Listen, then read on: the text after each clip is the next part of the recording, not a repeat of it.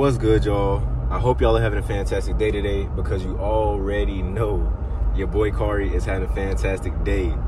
Today, if you watched yesterday's video, you already know what's happening. But if you didn't, before you know what's happening, like the video, subscribe to the channel, and comment down below, please.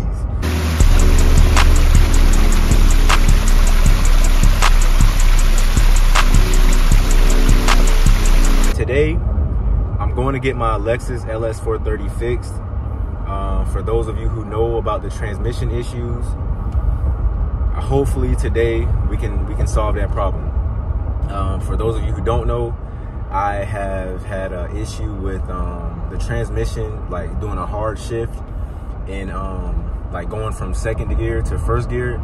Just kind of really all the down downshifts is kind of like I can notice it but that really that second to first is, is crazy. Through research and also posting on facebook marketplace because i was actually going to sell the car. Through me actually trying to sell the car you know it's funny because like five different guys hit me up. First they asked me what my issue was and i told them what was going on it's hard shifting and uh, from second to first and it's just like being weird or whatever. And then um the same way for every guy they asked me what was wrong and i told them and they told me that the possible issue could be an ECU problem because this model year of Lexus LS430 the 2004 it has an electronic transmission. And I guess that means that the ECU is controlling when it shifts or whatever. It's not actually it's doing it. I don't know. I don't understand that. It's electronic transmission. But that the ECU can cause problems in your shifting when the ECU goes bad or needs to be reprogrammed or something like that before I actually went on Facebook Marketplace and posted the car up, I was doing some research about it, and I did see some things about, you know, um, the ECU possibly being the issue. But hey, so through me doing that, I actually found a few guys. They gave me some solutions. Um, so right now, I'm going to a guy who says he can fix it for 100 bucks, and I'll be out in 30 minutes. So it's an hour drive out and I guess I'll see you guys when we get there and we'll see if it gets fixed. So, peace for now. What's good, y'all? I'm back. I got the whip fixed, but the goddamn battery died. So I'm in Water Walmart right now looking for a portable jumper. But I did drive the car a little bit and it was riding well. It was riding completely different the little stopping thing is gone all the way. Like everything is riding. So far, so good. I haven't had it for too long though. But we gonna see.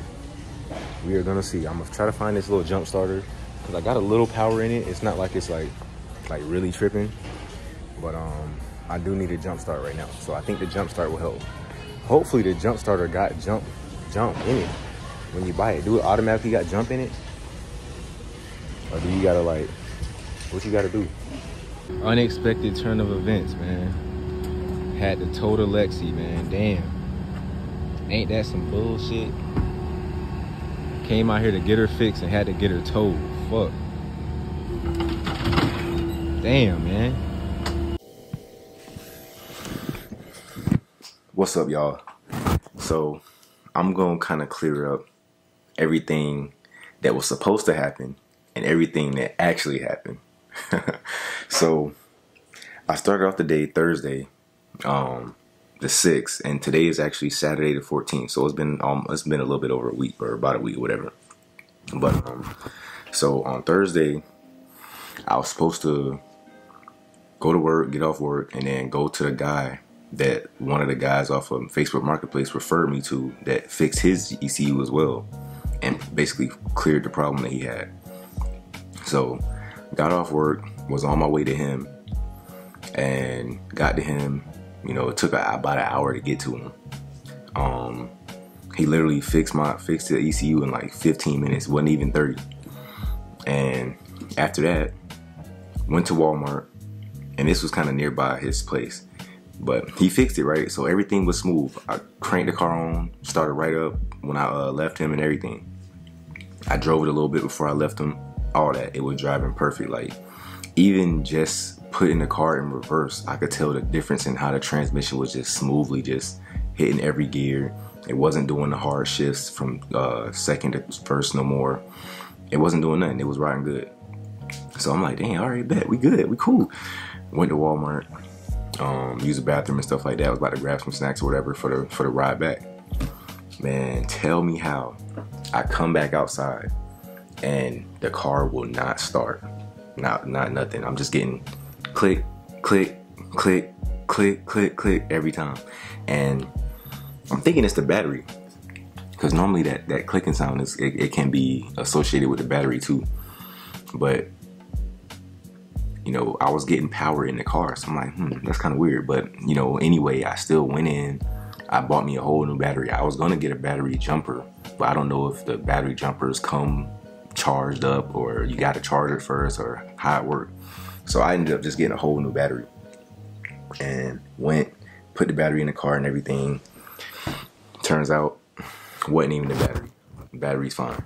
Because I even had somebody from Roadside Assistance come out. I'm like, man, do I need to jump? Did I buy a bad battery? So he put his little machine on on both the batteries because he had one of the machines that tell you the voltage of the battery and everything like that. So first he tried to jump it when I had the new battery on there. Couldn't even jump it with the new battery on there. So I was like, all right, well, since the new battery ain't even working and my old, and I asked him to test the old battery, my old battery good. I'm like, man, I'm taking this battery back. So took that battery back, all that like that. Eventually, you know, I'm like, all right, it's either my alternator or my starter or whatever. And it, at this point, I'm, it got to be my starter. You know what I'm saying? Because the car is just not, it's not doing nothing. It's not turning over. It's not crank, no start, none of that. It's just, just ticking, just tick, tick, tick every time. Even um, the guy that did the ECU for me, he even came out and tried to help me, uh, like knock start it or something. But the thing about these LS430s, man, that I did not know, the freaking starter is literally underneath the um, intake manifold. That's something I'm not used to. I'm used to the old Honda, you know what I'm saying? The starter, open the hood up, starter right there, alternator right there, everything just literally right there. I could see every component of the motor as soon as I open the hood and look down at it. So, my plans for the LS430, see, most people would have given up right there. I had transmission problems, now I won't start all these different things. I already had to fix the bumper and all that stuff. But I'm not gonna give up, man. This is just gonna be the start of my Lexus LS430 build series. And this is gonna be my first series ever on my channel. And so far you guys have been liking the LS430 videos. So I'm gonna try to keep going with the LS430 videos and I'm gonna make this car something amazing. I promise I will because I feel like this is a really good car. I got something good here, and I just want to make the best of it, you know. So the next video you see me doing, I'll probably be tearing down pretty much everything on the LS430. Not everything, but I'm taking the bumper off. I need a new bumper. I'm taking the mirrors off because the mirrors need to be fixed too. I might take the rear bumper off too, but the rear bumper can kind of just get painted. But the, the main things are the bumper, the front bumper, um, and the side view mirrors. And I think that's it. So, and I'm gonna start also um, breaking down uh, everything with the intake manifold and stuff like that to where I can just get to it. So I don't, this ain't gonna be happening over. This is gonna be happening over a few, a few, a few weeks, maybe even a few months, because I got the Honda. You know what I mean? So I have a car that I can drive every day, and I'm also gonna be doing work on that.